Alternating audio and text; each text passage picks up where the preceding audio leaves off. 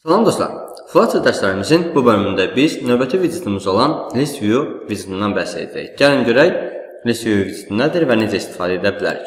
İlk növbədə Visual Studio Code və ekranımızı, cihaz ekranımızı göstərməyə çalışırıq və e, gördüyümüz kimi ekranda belə bir widgetimiz var. Daha öncəki dərslərdə də etdiyimiz kimi bir example view yaratmışıq və bu widget vasitəsilə biz List View komponentini izah etməyə çalışacağıq. Bunun üçün burada material dediyimiz widget daxilində child deyib bir list view widgetindən istifadə edəcəyik. Bu widgetin childrenları vardır ki, bu childrenlarda nələrin görünməsini, hansı elementlərin, hansı childların görünməsini təmin etməyə çalışaq. Gəlib burada qeyd etsək ki, bir text widgetimiz olsun. Misal üçün 1 olsun. Növbəti 2 olsun, 3 olsun və s. və s. və s. Tamam mı? Və bu formada bu gördüyümüz widgeti ekranda göstərmək istəsək, kodumuzu çalışdıraq. Görək nəticə nə olacaq. Belə bir nəticə əldə etdik. Lakin məlumatların az olduğundan burada bir scroll əməliyyatını görmədik. Yəni, sadəcə bir rəqəmlər görmüşük. Bunu necə təsvir edə bilərik? Gəlin, Burada bir for yazaq.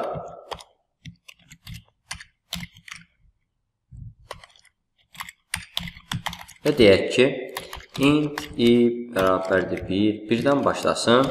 i kiçik bərabərdir 50 deyək və i++ deməklə hər dəfəsində bir text widgeti yaradaq. Tamam.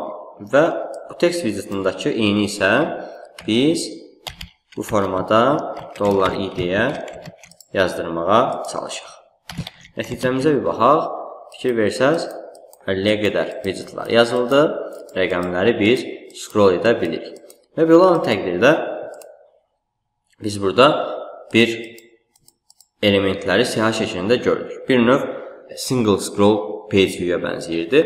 Yəni bizim scroll məntiqimiz avtomatik list view-umuzda mövcuddur. Tamam. Elementlərimizin bəs fərqli üsulla göstərmək istəsək, həqiqətən də bir list item şəklində göstərməyə çalışaq. Bunun üçün list tile deyirik və list tile viziti vasitəsilə bu hissədə deyə bilərik ki, title olsun bizdən bir vizit tələb edir. Title bu olsun desək, baxın, bu formada bir görünüş əldə edəcəyik. Əla. Əlavə olaraq icon deməyək, bir tile deyək, colors. Nöqtə number desək, baxın, bütün tilelarımızın rəngi bu olacaq. Ekstradan kliklərimiz var təbii ki, bunlar öz növbəsində. Trading desək, bizdən nə gözləyir? Bir widget gözləyir. Burada icon icons nöqtə message iconundan istifadə edək. Baxın, sağ tərəfdə bizim gördüyümüz ikonlar görünür. Super. Başqa hansı göstəricilərimiz var? Icon color deyək. Burada colors nöqtə white desəm bir görünüş əldə edərik. Selected color colors nöqtə orange desəm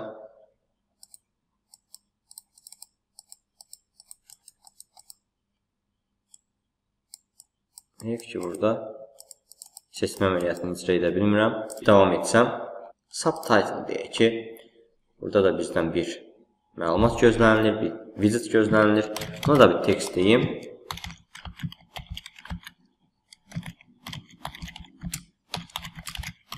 Detallı bir mətn qeyd edirəm. Baxın, alt hissədə detalları qeyd edə bilirik. Əlavə olaraq leading deyirəm və buradakı şəkli təyin etmək istəyirəm. Bunu da icon icons nöqtə deyib share desəm bu formada görə bilərik və icon color-a white dediyimizdən bütün ikonların rəngi dəyişir. Əgər yazmasaq, öz rəngində qalacaq.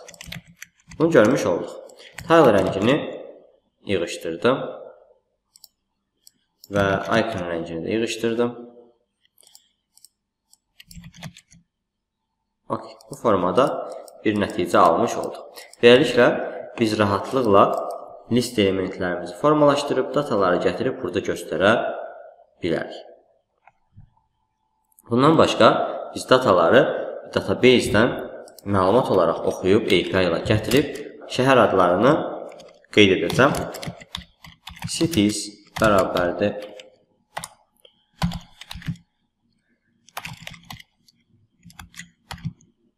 neft sala deyirəm. Və təkrarlayacam bunu. Bakı, Şəki, Qəbələ, Gəncə və bu formada bir rayon adlarını qeyd edirəm. Qazax, Yevlax, Şuşa.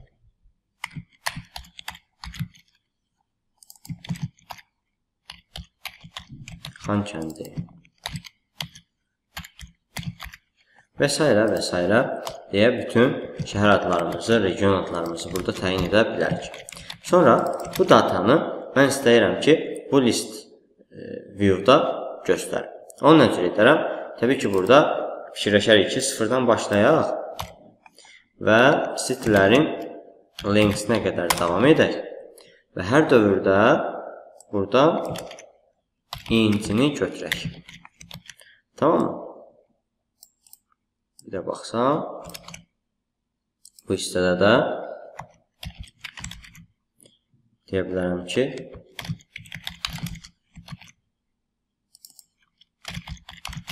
məlumat. Bir full resetləyim. Baxırıq. Subtitle i. Bərabərliyi yığışdırıram. Bir də yoxlayırıq.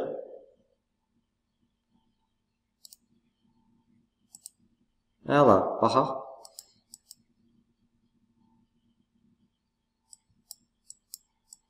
Belə bir məlumat, belə bir görünüş əldə etmiş olduq. İndi bir neçəsini daha əlavə edək.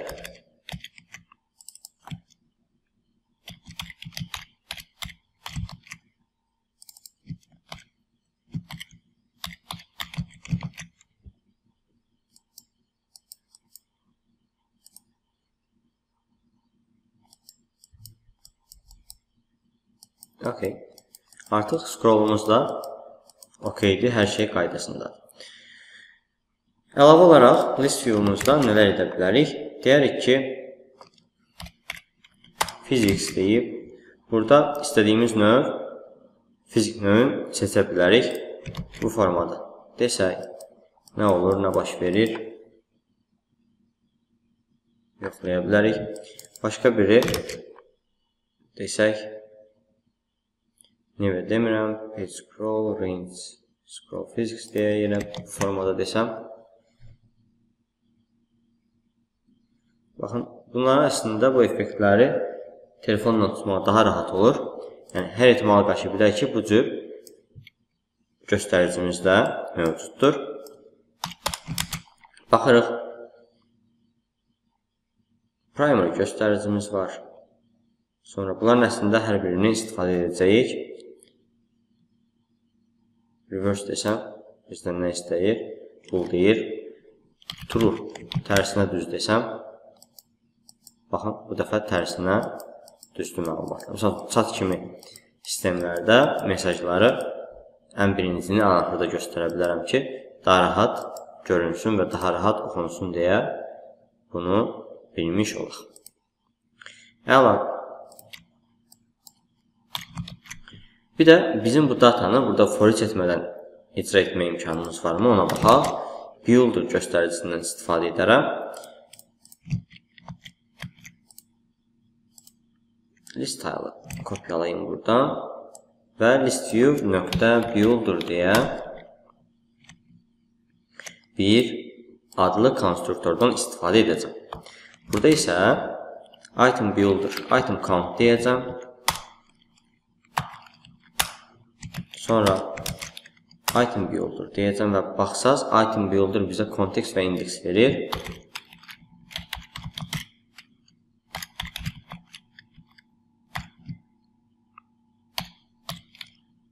bu formada istifadə edə bilərik. Bu da geriyə bir widget qaytarmalıdır. List tile-da geri qaytaraq. Və list tile-da da biz bu indeksi istifadə etməklə işimizi görə bilərik. Burada artıq neçə dəfə nə qədər dövr edəcəyini qeyd etməliyəm, neçə item olacağını qeyd etməliyəm. Bu isə cities .count-la bilirik ki, linkslə edə bilərik. Bunu da bu formada bilmiş olaq. Tamam. Başqa list view deyəndən sonra burada bizim digər göstəricilərimiz var da, biz list view-u normalda dataları gətirib göstərmək üçün həmçinin də həmçinin də misal üçün konfigurasiya ekranlarımızın təyin edilməsi, təsvir edilməsi üçün istifadə edə bilirik. Misal üçün onu necə istifadə edərik? Gəlin bir baxaq, gəlin öyrənək bunu.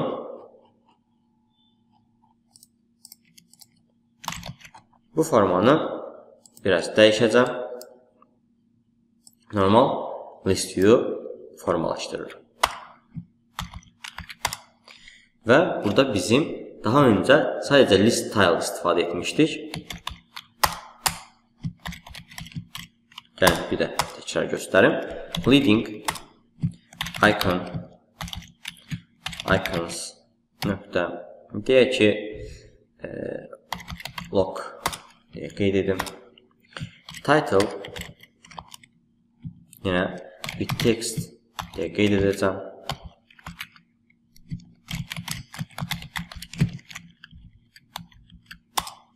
Sonra subtitle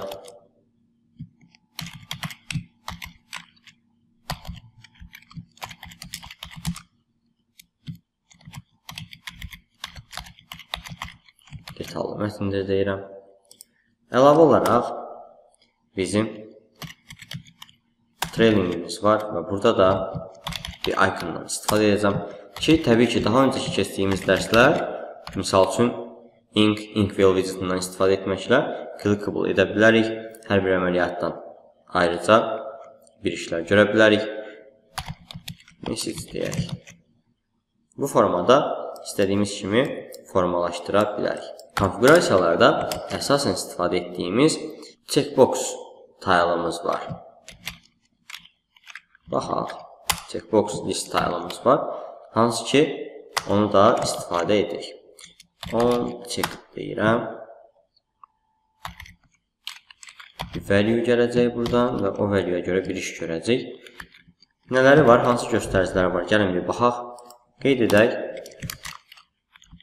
Value-su True deyək hələ ki. Okey. Baxaq. Title-ımız var.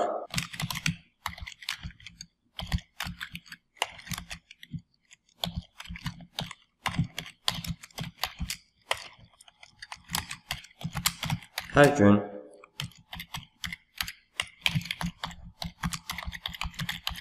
olunsun deyə bir mətn yazıram. Baxın, bu formada təyin edə bilirik list tayalımızı. Sonra qeyd edirəm ki, subtitle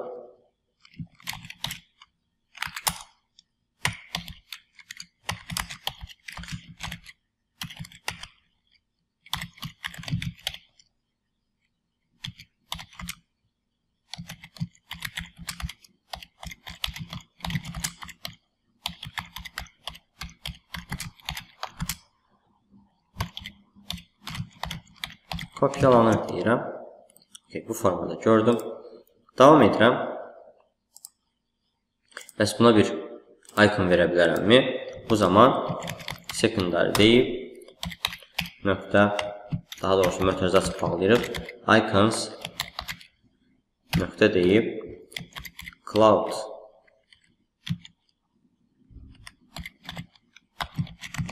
deyə bilərikmi? Bax, bu formada bir iş görə bilərik. Eyni zamanda buna bənzər başqa bir taylımız da daha var. Switch list tile. Baxın, bu formada yaza bilərik. Əlavə olaraq bir də radio list tile'ımız var. Burada biraz fərqlidir. Həmçinin group value'muz da olmalıdır. Burada bir deyək, buna bir deyək, seçili olsun. Tamam. Və yaxud da bu formada yaza bilərik. Buna da 2 deyək. Okey. Bunu da görmüş olduq. İndi true desəm, baxın, daha bir minimalist görünüş əldə edə bilərəm. Sonra davam edirəm. Burada da edə bilərəmmi? Burada da eyni qaydada. Həmçinin digərlərində də eyni işi görsəm, daha səliqəli bir forma əldə etmiş olacaq. Daha öncəki dərslərdən bilirdik ki, biz checkboxlarda və switch boxlarda klik olunanda işləməsi üçün bir işlər görməliyik. Bunu da edə bilərik. Yəni, eyni işləri. Görə bilərik, misal üçün, burada fitted boxdan istifadə edirdik, sized boxdan istifadə edirdik, ölçüləri nizamlamaq üçün. Bunları da xatırlayaq. Ekstradan demək istədiyim nələr var?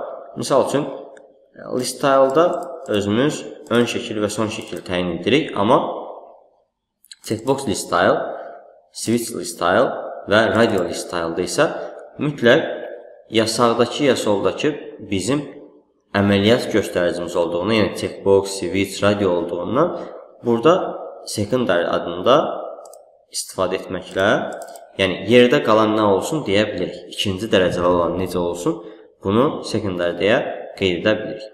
Və bəzən bunların yerini dəyişməsini istəyirik. Yəni bütün ikonlar sol tərəfdə olmasını istəsəm, radiolarda görə nə edə bilərik? Gələr radiolara burada baxırıq. Control Affinity deyə qeyd edəcəyik burada. Bunu da nə cür qeyd edə bilərik? Trailing desəm, baxın bu formada görünəcək. Həmçinin burada da bu işi görə bilər. Tamam. Yəni nə baş verir? Bizim göstəricilərimiz, kontrol göstəricilərimiz trailing dediyimiz hissədə görünəcək. Və yaxud leading dediyimiz hissədə görünəcək. Sol tərəfdə görünməsini istəyə bilərik.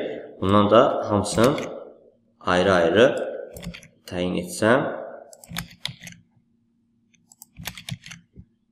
baxın, bu formada qeyd edə bilər. Bu style-da da artıq özümüz istədiyimiz kimi sol və sağ, yəni leading və trailing dediyimiz ikonların neyin harda olmasını rahatlıqla təyin edə bilərik. Bunu da görmüş olduq. İndi isə düzəldək, bunlar işləy vəziyyətdə olsun. Bunu necə həll edirdik? Deyirəm ki, bəs bizim burada bu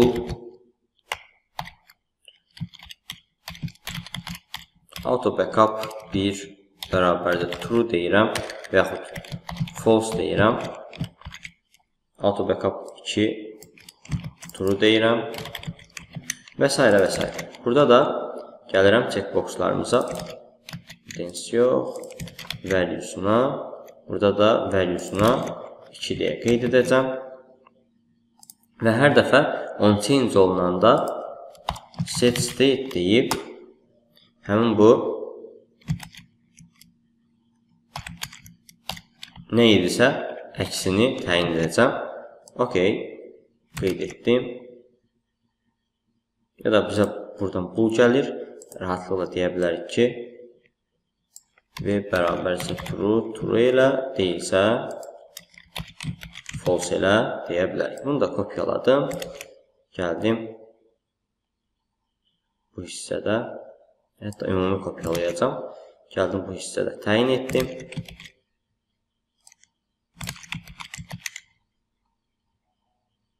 Okay. Bu da auto backup 2 deyirəm. Bir baxsaq. Baxın, bu formada rahatlıqla istifadə edə bilərik. Bəs radiolarda nə idi məsələ? Radiolarda isə bir dənə seçilmiş data olurdu.